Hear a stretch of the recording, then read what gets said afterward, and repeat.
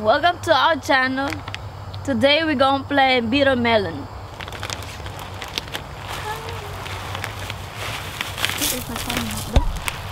So tell us what you're doing right now. I'm putting some, uh, what is this? Organic.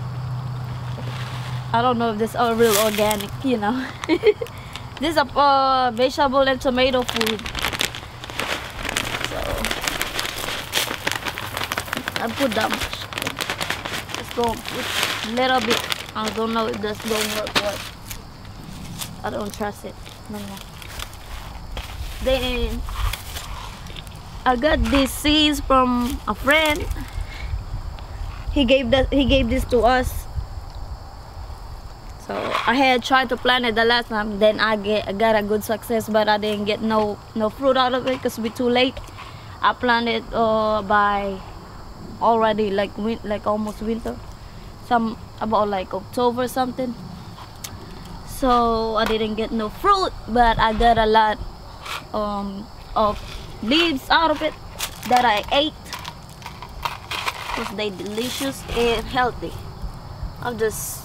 So you did say the good thing about bitter melon is that not only do you have like you don't have to wait until they fruit you get the fruits, you can actually start the using the leaves. the leaves. What do you do with the leaves? I boil it and then I had uh, like sprinkle a little salt on it. Then I'ma chop I chop some uh, tomato. Is it like a stir fry or yeah, like, a soup? stir. You can eat it like a stir fry, or you can mix it with like your soup.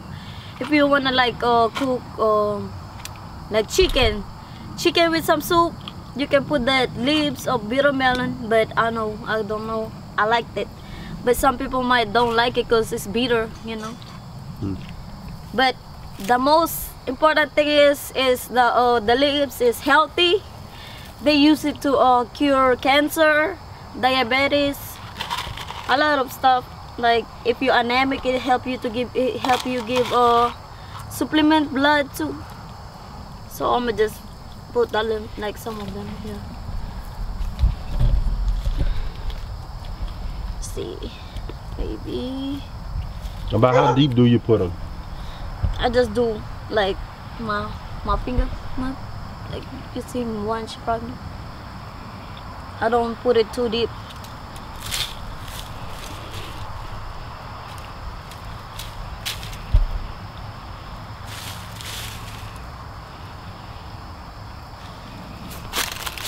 Don't matter though.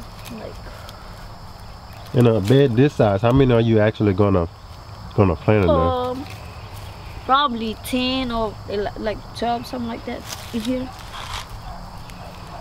Are you gonna cut them back per se if if some? No, I don't have to, cause uh, like some of them gon' it's just gonna go in a tra- like a trailer anyway, so it don't matter if they go and grab each other, cause they still gonna make food out of it. It don't have to be perfect, you know, like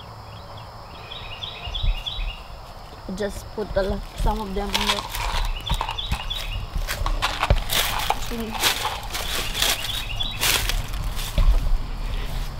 Cause maybe some of them can grow, like uh, some of them might not grow, some of them might grow.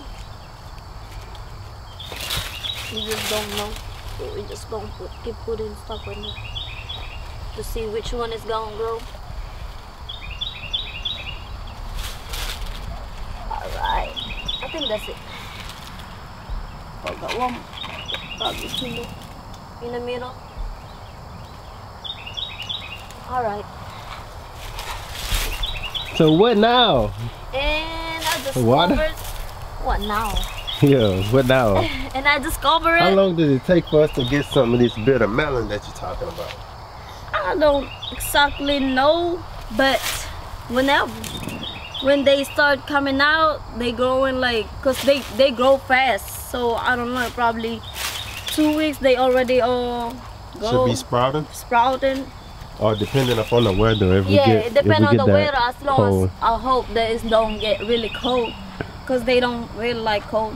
They like hot weather. Hmm. Yep. So what's the famous words that you always tell all of your seeds when you plant them? No, I don't tell. I talk to them, but I don't want to tell them. I say, grow, grow, grow. All right. So thank y'all for watching this episode. Uh, she really wanted to get out and plant her bitter melon. Uh, something that actually helps her feel a little bit at home, I would say. Because you, we don't really see it that much here. It's starting to come in some of the fruit stands.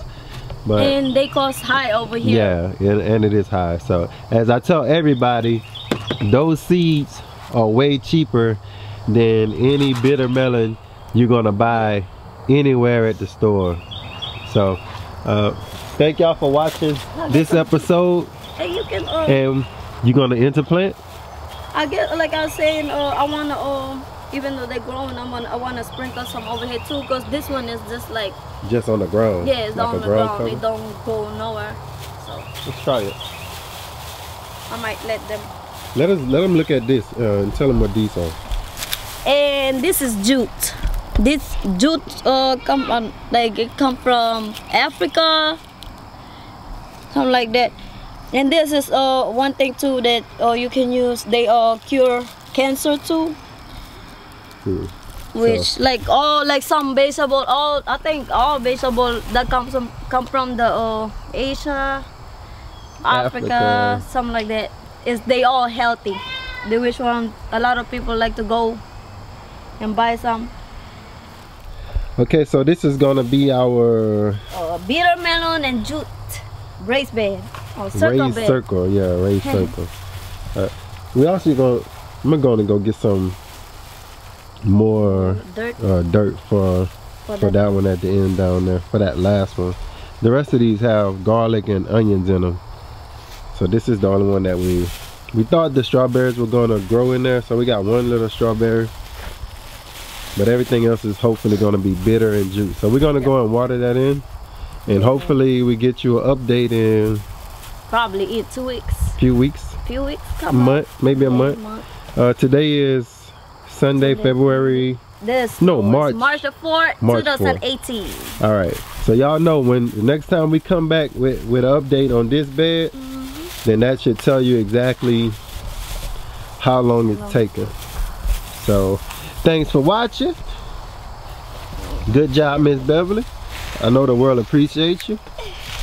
And sooner or later, it'll be strawberry time. See ya.